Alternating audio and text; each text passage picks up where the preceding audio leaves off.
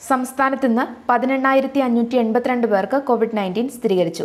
മലപ്പുറം രണ്ടായിരത്തി അറുന്നൂറ്റി എൺപത്തൊന്ന് തൃശൂർ രണ്ടായിരത്തി നാനൂറ്റി ഇരുപത്തി മൂന്ന് കോഴിക്കോട് രണ്ടായിരത്തി മുന്നൂറ്റി അറുപത്തിയെട്ട് എറണാകുളം രണ്ടായിരത്തി ഒരുന്നൂറ്റി അറുപത്തൊന്ന് പാലക്കാട് ആയിരത്തി എഴുന്നൂറ്റി എഴുപത്തൊന്ന് കണ്ണൂർ ആയിരത്തി ഇരുന്നൂറ്റി അൻപത്തിയേഴ് കൊല്ലം ആയിരത്തി തൊണ്ണൂറ്റി മൂന്ന് ആലപ്പുഴ തൊള്ളായിരത്തി നാൽപ്പത്തൊന്ന് കോട്ടയം തൊള്ളായിരത്തി ഇരുപത്തൊൻപത് തിരുവനന്തപുരം തൊള്ളായിരത്തി ഇരുപത്തിയേഴ് ഇടുക്കി അഞ്ഞൂറ്റി തൊണ്ണൂറ്റിയെട്ട് പത്തനംതിട്ട അഞ്ഞൂറ്റി പതിനേഴ് വയനാട് നാനൂറ്റി തൊണ്ണൂറ്റിയേഴ് കാസർഗോഡ് നാനൂറ്റി പത്തൊൻപത് എന്നിങ്ങനെയാണ് ജില്ലകളിൽ ഇന്ന് രോഗബാധ സ്ഥിരീകരിച്ചത്.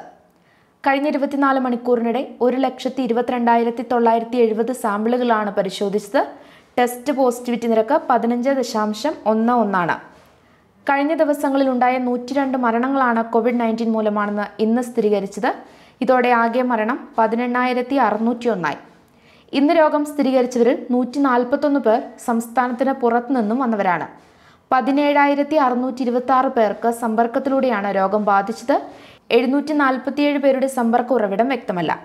അറുപത്തിയെട്ട് ആരോഗ്യ പ്രവർത്തകർക്കാണ് രോഗം ബാധിച്ചത്.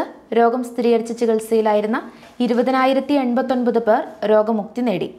ഇതോടെ ഒരു ലക്ഷത്തി എഴുപത്തെണ്ണായിരത്തി അറുന്നൂറ്റി മുപ്പത് പേരാണ് രോഗം സ്ഥിരീകരിച്ച് ഇനി ചികിത്സയിലുള്ളത്.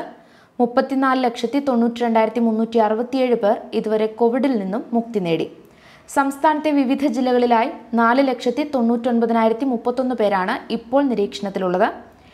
ഇരുപത്തിയേഴായിരത്തി അറുന്നൂറ്റി മുപ്പത്തിയാറ് പേർ ആശുപത്രികളിൽ നിരീക്ഷണത്തിലാണ്. രണ്ടായിരത്തി അറുപത്തഞ്ച് പേരെയാണ് പുതുതായി ആശുപത്രിയിൽ പ്രവേശിപ്പിച്ചത്.